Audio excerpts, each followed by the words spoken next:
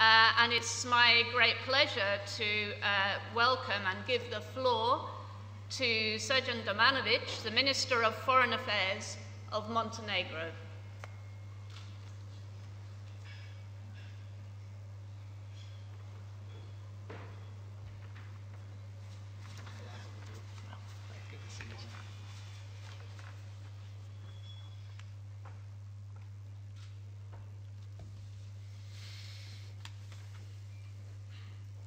Good morning to everyone. Uh, before I address this panel's topic, I would like to express my appreciation once again to the Economist, for, the Economist events team for organizing this uh, great conference here in Podgorica. As Deputy Prime Minister Pazin said, it is a very timely occasion to put Montenegro in the focus of the broader attention and it is also a good time to address some pressing issues that concern Europe on a very fundamental level. The EU is going through an existential crisis, if I may say. But that in itself, as painful as it may look at present, can actually serve to sharpen the focus of the member states regarding the sh shape and the future of the Union. Providing we keep up at the same pace, Montenegro expects to become a member of the EU in the next three to five years. Montenegro has been the leader in the region in the EU integration process, with 26 out of 35 negotiating chapters opened and two chapters provisionally closed. I am particularly pleased that one of our key foreign policy goals to ensure security for the citizens and the state of Montenegro through NATO membership is within our reach, especially after the recent adoption of the law on the confirmation of the North Atlantic Treaty by the Montenegrin Parliament on April 26, 28 last Friday. We are only waiting for the ratification process to be finalized in the, in the beginning of this month in, in Spain and uh, uh, Netherlands to, to send the uh, instrument of ratification to Washington and then uh, us, after that, and process will be finally finished, we are going to become the member of, of uh, North Atlantic Alliance. As for the EU, Montenegro's, Montenegro's position on the future of the Union is clear. We are very much in favor of a strong Europe, a Europe which will include all the countries of the Western Balkans, which will be able to harness the region's economic and human potential to the benefit of all, and which will continue to grow through more open and dynamic economic partnerships with other countries and regions of the world. It is clear that certain segments of the population of some EU member states are struggling with the idea of stronger Europe or united Europe and are actually open defying such a prospect.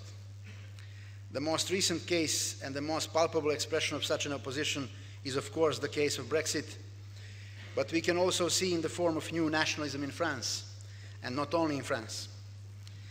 Both are defined by the issues of Euroscepticism, a drive to reclaim national sovereignty, uh, tough immigration stance, and economic protectionism. The result of the upcoming elections in France, the presidential elections of May of uh, now a second round uh, after the first round uh, was over on the May 7th, and the legislative elections to elect the member of the National Assembly on uh, June 11th and 18th, along with the upcoming UK parliamentary elections scheduled for June 8th, will no doubt have influence on the vote, uh, for example, in Germany, for Germany's next chancellor in September 24th. Regardless of the September elections result in Germany, I'm sure that these a very important country will continue to play a strong, dedicated role in the shaping of the European Union.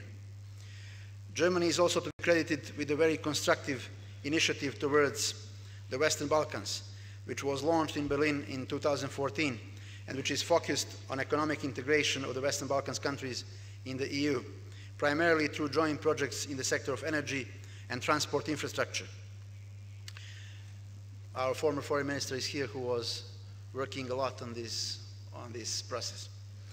The process has additionally mobilized Austria, France, and Italy to be also involved in the more concrete economic exchange with the countries of the region.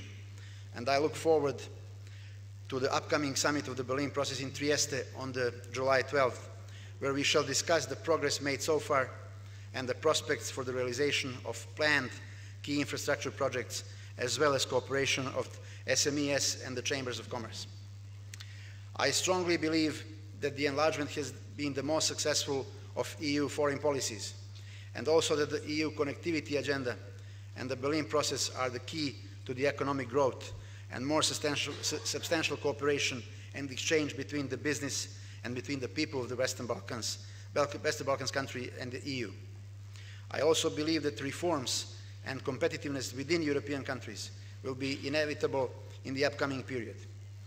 And that, and that they will shape the direction of the EU towards a more economy and business focused agenda open to trade and business cooperation with key partner countries and regions, especially the China initiated Belt and Road Initiative and less towards the narrow political and protectionist, protectionist agendas of today.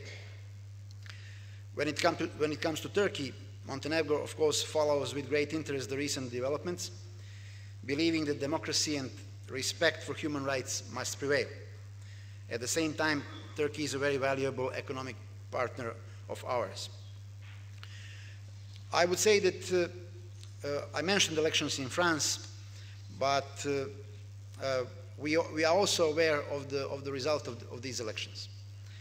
Uh, I don't want to say if, if French pro-European uh, movement or pro-European view doesn't prevail, then Europe will be in a big jeopardy.